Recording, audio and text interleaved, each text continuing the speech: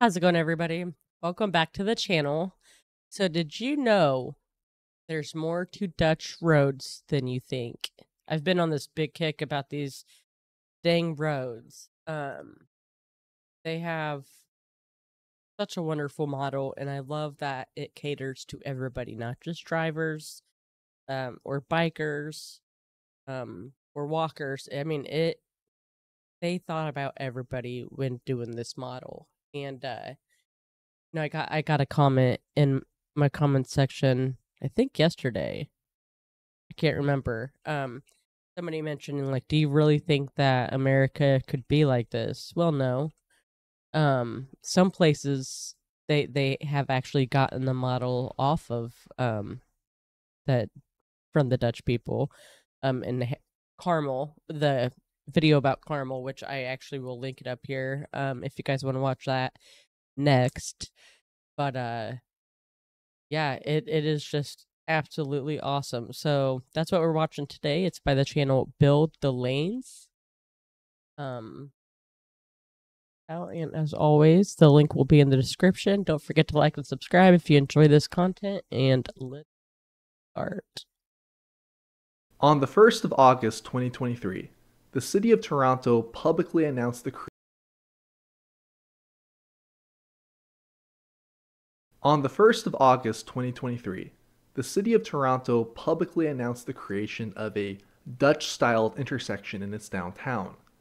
The announcement, along with a pretty nifty video, was met with delight from local advocacy groups. But what does Dutch-styled mean exactly? Why do images of safety upgrades make people think immediately of the Netherlands? And why are so many engineers and planners so eager to brand their latest design as Dutch? The Netherlands, although being small, has a massive reputation for creating excellent and safe transportation systems. Its city centers look like this, the most popular vehicle is this, and its traffic death rate for the last 50 years has done this. But as the irritated Belgian might point out, the Netherlands isn't the only golden boy in the lobby. Denmark's capital of Copenhagen is world famous for cycling, and that is crazy. How many German cities like Freiburg and Leipzig have tram and cycling networks that could hold their own. I just can't believe how many cars are, or how many bikes are just parked, and how many people are are, are riding a bike. It just blows my mind. Against most Dutch cities. In fact, it might surprise you to learn that the Netherlands isn't even the best performer in Europe when it comes to traffic safety. Ranked by traffic deaths per million of inhabitants, a European Commission report in 2022 found that the Netherlands only came in ninth place out of the 27 member states of the EU. But before you get too disappointed and start unsubscribing from Dutch urbanist channels, wait just a minute. Because while the land of windmills and cheese isn't the only nation in Europe with safe bike lanes, they are absolute champions when it comes to building them everywhere. If you've been fortunate enough to visit Europe multiple times, you might notice a pattern. A popular and often touristic city center with lots of pretty buildings and museums inside of a pedestrianized zone, with easy access to public transit and a safe environment for cycling. But once you exit the downtown, that safe and enjoyable environment gives way to much more auto oriented infrastructure or if you travel to multiple cities in the country, the quality of transportation can vary drastically from city to city. Sure, Leipzig in Germany is quite good for cycling, but good luck if you go to Bochum or Hagen. Breaking this pattern. Yeah, like I know we could not do this here because I mean, just in my situation, I live in a small little town that has one place that you could go work and it's a family restaurant um, and they don't really hire outside of that so you're really left with driving to another town which in my case i do um, and it's a 15 minute drive to the to where i work so that's automatic uh five ten bucks that is just the first hour i'm working is pretty much for gas money to get back and forth to work. Um, so that sucks. But uh, you know, another thing I wanted to make sure I mentioned about this, um, in case this doesn't mention, is uh, they have like the um what are those called? Where the animals are able to go. Okay, an animal bridge. Um, where instead of the animals having to cross these these roads, they just go over this big patch of grass and around. I think that's amazing. We have roadkill left and right here, and uh, also we don't think about their our animals. They do. I mean, nobody's left out in this situation. It's pretty cool. Pattern is where the Netherlands really stands out. It doesn't matter if you're in Amsterdam, Utrecht, Groningen, Maastricht, The Hague, or Leiden, they all have the same safe infrastructure in both the downtowns and the outer suburbs. Nor do you have to stick to the large cities. Heineken. We can see the same safe systems in the small towns and villages scattered across the country, and along the rural routes linking it all together. This doesn't mean everything is perfect, but the general rule is that you must look a lot harder to find the bad than the good. So, why is the Netherlands so good at making its infrastructure uniform? It's not as simple as pointing to a single piece of legislation or telling the story of how a few forward thinking engineers and planners managed to inspire an entire country with their vision. It'll take analyzing five fundamental components that exist independently, but when they come together, it creates a transportation system second to none.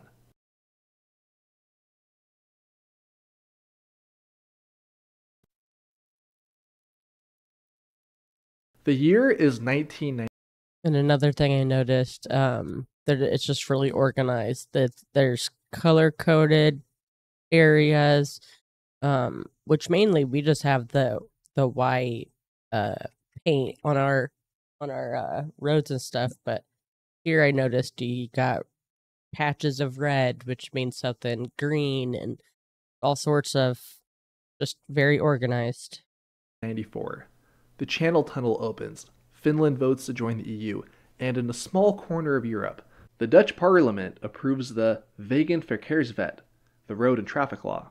Complementary to a new traffic code passed in 1990, these reforms were an attempt to shake things up a little bit in the nation's fight against traffic deaths.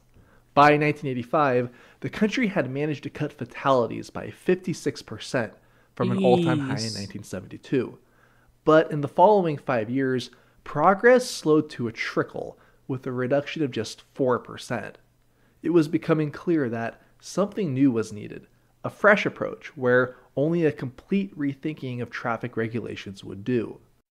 The previous strategy based on the traffic law of 1966 could really be summarized as preventing crashes by making them illegal. The default response of the traffic authorities to problems would be to amend the traffic law. I feel bad for that guy right there. The default that's what Charlie and I have been having to do a lot. Is The uh, previous a whole lot of based on the traffic whole lot of that. 1966 could really be summarized as preventing crashes by making them illegal. The default response of the traffic authorities to problems would be to amend the traffic law, so it would no longer be legally possible for problematic situations to arise. Maybe introduce a new road category, add a new regulation Hey, what is that car doing on the sidewalk like that? to arise.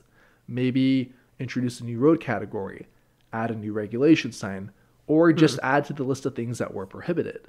The regulators were in the driver's seat, and the engineers were playing catch up by just implementing the newest signage or adjusting road designs to meet the latest regulations. The result was a convoluted mess of dozens of road categories that was starting to do more to confuse people than to boost safety. But the traffic reforms of 1990 and 94 changed all that by cutting regulations so aggressively that it could make a libertarian blush.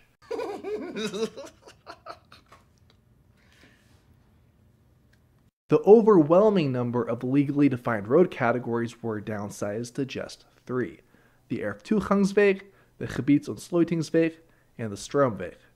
The reduction and simplification process was so thorough that the legal text regulating traffic in the Netherlands can be held in this small book here. But the reforms didn't only remove rules, it also added new concepts and precedents, a crucial one being that the design and appearance of road infrastructure must stimulate the desired traffic behavior. This shifted the primary responsibility for traffic behavior from the regulators to the road designers. For instance, if a city wants a residential street to be calm, the traffic law defines 30 km an hour regulatory signs that can be enforced by the police and basic rules of the road. Other aspects like getting the majority to comply with the new speed limit. That's not what happens here. Uh, the police actually drive over the speed limit more than uh, citizens. Uh, I'm not, and I'm not trying to be like in any way trying to, you know, talk bad about them, but it is very true. How to create safe behaviors at intersections, and the locations of traffic markings was going to have to be figured out by the road designers in charge of the project. Or, as another example, want to create a cycle street where cars behave like guests behind the cyclist. Well, sorry, bucko, there's no legal text or regulatory sign defined in the traffic law that can stop Dutch drivers from overtaking cyclists if they want to. So you'd better come up with a way to design the street to shoo away as much car traffic as you can and encourage cars to only pass in a safe manner. This new dynamic, where the government kept itself to basic traffic rules and leaving designing to the designers, changed the paradigm and revolutionized everything. Now, if you're listening from abroad and have experience with getting stonewalled by arbitrary traffic regulations, the thought of being unshackled from codebooks to chase after your most ambitious designs probably sounds pretty great, right? But mm-hmm. transitioning to a system overnight, where you inherit most of the responsibility for driver behavior and be without the blanket support from traffic signs, is not a challenge that anyone should take lightly, or alone for that matter. Dutch road designers needed to start acting less like bureaucrats relying on arbitrary rules and more like scientists using data to achieve desired outcomes. To help with this transition, two organizations would step forward. Okay.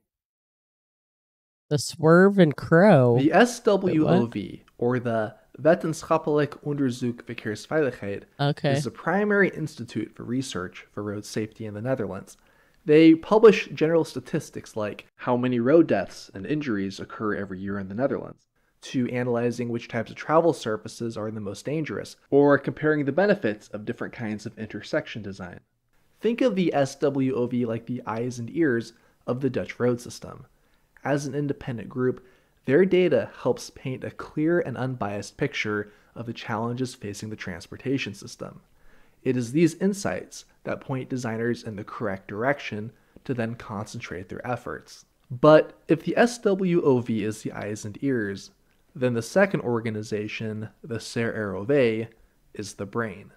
Like the SWOV, the CROW is also an independent group, but its mission is to provide empirically proven design recommendations for engineers and planners across the country. For instance, when research found that collisions yeah, the roundabouts. I think we got that idea. I mean, we have a lot of roundabouts here. I don't know where we got the idea of that, but I said in one of my other videos, they now have like stop signs in between the roundabouts, and they're not really that good with like letting us know. Like, we had no idea that was even a thing until it happened. So it was like, gosh, we could have gotten in a in a wreck you know, if we just thought that was just a regular roundabout. But uh yeah, it is it shouldn't be taken lightly. It is here. Like we don't even have sidewalks hardly. It's just insane the differences. With bollards was a leading cause for hospitalizations of cyclists. The survey got to work by doing a series of field tests to figure out the safest bollard setups while still being able to stop cars. Everything like the distance between bollards, illumination at night, bollard height, and the length of guidance marking was tested. The results were then bundled into a design guidance for road designers titled Evaluatie palen op fietspaden, or an evaluation for the recommendations of bollards on bike paths. This publication is available here and can be accessed by anyone with a membership to the CROW's technical library. Of course, ballers are just one small example. The same kind of resources exist for every aspect of the road system, like roundabouts, programming smart signals, or footpaths for pedestrians. And the CROW's work doesn't end once the guidance is published. Wow. They need to be updated regularly, so they often collaborate with local governments to discover unexpected issues and get feedback on their designs from those who implemented them. With the joint efforts of the SWOV and the CROW, Dutch road designers enjoy access to the most cutting edge research and designs in the world, while retaining freedom to design what they want. The concept of retaining free public roads in the Netherlands, Oops. but this would be incorrect. In fact, none of the design guidances in the country are legally mandatory. And on top of that, the Netherlands has no licensing system for professional engineers, chartered engineers, or any other kind of designation that gives exclusive rights to approve engineering plans. Theoretically, anybody can propose any type of design that they want. I know this might come as a surprise, but don't just take my word for it. Even the CROW admits in their own texts that their design standards have no legal or mandatory status. A road authority could theoretically ignore them just as quickly as it took to read them. And after all, just because something is better doesn't mean everyone will use it. Just ask my native country, the United States, about the metric system. How does this contradiction exist in a place where everything seems we will not talk about that. to be so similar everywhere. I mean, how else could such uniformity in design across an entire country be possible if it's only voluntary? Surely something must be happening to explain why all these roads are so similar. Well, indeed, there is the legal concept of the responsibility of safety. Just how an airline has a legal responsibility for the safety of its passengers, or a food company has responsibility for safety of people eating their product, traffic reforms also introduce this concept to public roads. Now, the Dutch Highway Authority, the Rijkswaterstaat, would be responsible for the safety of all drivers using its highways. Or a city like Wow. Utrecht became responsible for the safety of cyclists using this bike path. However, this doesn't mean that a drunk driver who gets in a crash on a Dutch freeway Oh. can just turn around and hold the Rijkswaterstaat legally liable. Road authorities can only be held liable for crashes that are reasonably within their power to prevent. But it does hold them to account on two things maintenance and design holes and keeping the road in good I keep doing that. Um, use OP.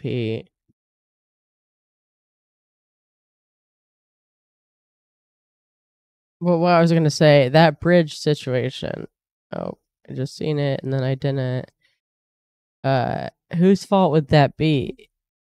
Could they have prevented it, or I mean, I don't even know why they make vehicles bigger than what bridges would be. That would be, I would not, I would not like that. I don't even know where I was, guys. road authorities power to do. Another case would be if a cyclist gets injured using a dangerous crossing, when there are alternative designs proven to be safer. Since the road authority is the owner and has the power to approve the design of the facilities it operates, it also falls within their reasonable power to only approve the safest designs to protect its users. So, what's a road authority manager looking to avoid bankruptcy from legal settlements to do? invest like hell in proper maintenance, and follow the design guidelines that have been empirically proven to be the safest option possible. So, while using the CROW isn't legally mandatory, there is one hell of an incentive. This incentive is a nifty tool, but it also has a useful companion that can block stubborn designers from causing lasting damage. Now, the Netherlands certainly isn't the only country with environmental legislation, but they do go a step further by mandating environmental targets for roads. Like noise pollution, any new or reconstructed road inside city limits needs to try to achieve 48 decibels, around the same loudness as a conversation in your home. Ah. So just to give you guys an idea, this is my voice at a con- normal conversation level, and this is the loudness of the road when cars are driving on it. As you guys can see and hear, it's pretty much around the same, around the 43 decibel marker. Or like air pollution. How do they? I I don't know how that would work. That's confusing. How they would make sure that's precisely at a at that decimal. Roads can generate all kinds of toxic pollutants like PM10, particulate matter with a diameter up to 10 micrometers, small enough to enter your lungs and heart where they can cause serious health issues. Dutch law sets a strict limit for the annual average at 40 micrograms per cubic meter. So, if a road authority wants to rebuild or widen a road, they must prove that it will comply with these limits or risk having the project blocked. An easy way to see this mechanism at work is by looking at the Dutch freeway system, or the Rijkswegen, on Google Maps. Notice how the freeways skirt around cities instead of blasting through the center, LA Yeah. style. That's awesome. It's a great example of how freeways are supposed to be used, expediting trips from city to city and not being relevant for trips inside a metro area. Because the environmental law allows freeways to reach up to 65 decibels in loudness, but only allows 48 decibels inside of city limits, this more or less forces road engineers to follow the Ser Aerobay advice to not build freeways straight through cities. And we can see the same principle inside the cities also. Most Dutch roads are only one lane in each direction, sometimes two as we approach city limits, but never more than two. It turns out that one more lane to fix traffic, bro, is much harder to do when the widened road can only be as loud as people talking in a room. There's no way six lane stroads can meet this requirement. Just listen to how loud this five lane stroad in North America is. So, because environmental legislation makes road widenings a non starter, it forces local leadership to seek out alternatives that actually So a stroad is a, a highway, but I don't know. That's if anybody knows that, let me know down in the comments. I kind of missed that. Actually, work, like I don't know more how. efficient signals, better bus connections, or more cycling. Ta-da! The final component for discussion isn't technical like the previous ones, but rather cultural. It's the piece of the puzzle that isn't about how to do it, but more about the why. So I wonder if all those trees were put right there for the boats to be so you could tie your boat on it. If so, that's a really, really smart idea. Why was there so much motivation to reform in the first place? Why was there so much invested in research and design knowledge when it didn't happen in other nations? And why bother with such a complex systems of incentives instead of a blunt force mandatory approach? To understand this, we need to touch on the Dutch tradition of polderpolitiek. To understand polderpolitiek is to understand the geography of the Netherlands and the history of the Dutch relationship with it. As most of you probably know, a large chunk of the Netherlands landmass is under sea level elevation. There's little to worry about today about catastrophic flooding, but hundreds of years ago, the fortress that the Dutch built to protect themselves didn't exist. Most of the land was wet, marshy, and very flood prone. Mhm. So the towns were developed in dry areas that were called polders. A polder is an area of land that's surrounded on all sides by raised embankments for protection from flooding, akin to an empty cereal bowl placed in a sink. If major flooding happened during the storm, the surrounding countryside would flood, but the small island of civilization inside would stay dry. The obvious downside of this setup is its fragility. All it took for a polder to Ooh. fail was a single poorly built or poorly maintained section for floodwaters to punch through and turn the dry island into one giant swimming pool. Coexisting with this fragile reality, Yeah, that's right here. If if you have water problems, the Dutch will definitely be able to help. They know what they're doing. would end up shaping politics in a rather particular way. In order to survive and keep their feet dry, these polders learned that they had to govern themselves in a way that allowed political participation across all classes and professions when it came to anything related to managing water. This is because polders that were run more like dictatorships ended up being much more likely to flood.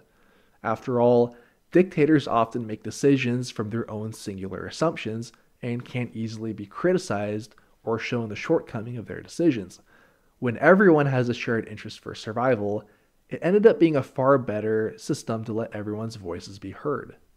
This long standing tradition is how the Dutch concept of polderpolitiek was born, and it continues to be relevant to this day. Nowadays, polderpolitiek is emphasized even more in Dutch public spaces. It's the same commitment to reach a consensus that motivates the Dutch to come up with solutions that are good enough to satisfy everyone. Solu- Yeah, they have uh reclaimed a lot of territory. In fact, I have this uh this big book is from like it's really really old and if you look in the Netherlands, they it shows like where they are, but then if you look at the map today, they have they have recovered a lot of land. Um and you could see the difference be- between the two maps. It's really cool. solutions that can make the streets safe, crush congestion on roads, preserve a healthy environment, and do it in a way that's affordable for the government. It was this commitment that led to the rise of each component we discussed, and then coming together to produce a system that continues to inspire people around the world every day. Yeah, that was a good video.